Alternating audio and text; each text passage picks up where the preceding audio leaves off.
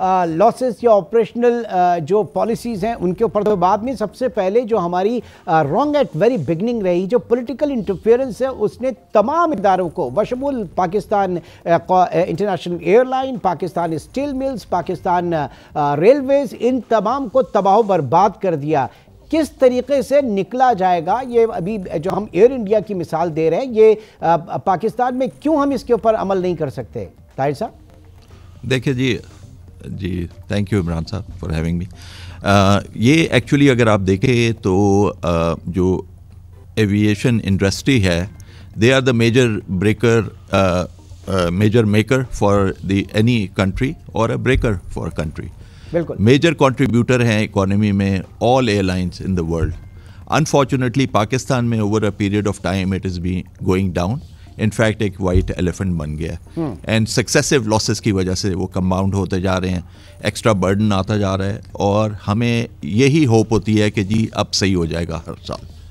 The other thing is के projected जो आपके जो प्रोजेक्टेड आपके प्लान्स हैं those are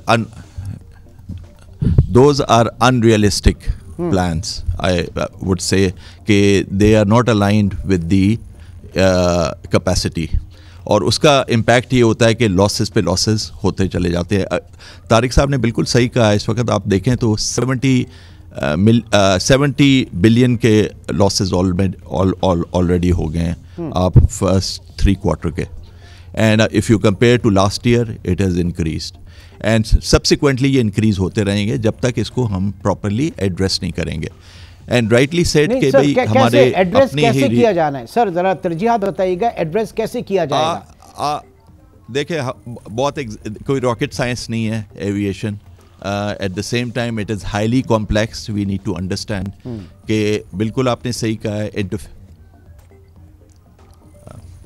ji sir can you repeat this मुझे मैं मैं पूछ रहा था कि हम हम बाहर कैसे निकलेंगे? हमारी प्रायोरिटी क्या होनी चाहिए फिर इससे? मेरा तो ख्याल है देखिए ये ठीक नहीं हो सकती। To be honest aviation industry का जो हालात हैं पाकिस्तान में ये एक वाइट एलिफेंट बना हुआ है।